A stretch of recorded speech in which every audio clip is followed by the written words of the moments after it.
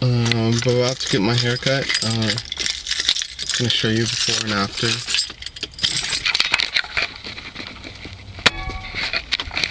Alright, talk to you later.